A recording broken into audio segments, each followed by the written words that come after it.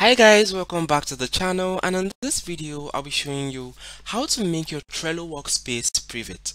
So the first step is to sign into Trello. Once you sign into Trello, um, you just have to click right here and choose the specific workspace that you're trying to change its settings okay? So just click on workspaces and click on your workspace. Once you click on your workspace you have members settings and workspace views.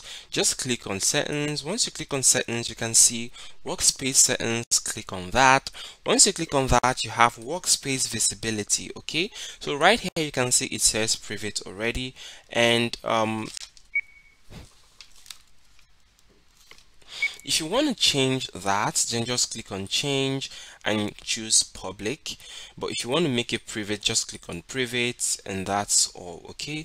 So that's how to make your workspace private. If it's private, then it means that no one on the internet will be able to see your workspace except those that you've added to your workspace. However, if it's a public workspace, then anyone on the internet can see your workspace by simply searching for it. Okay, so that's how to make your Slack or your Trello workspace private.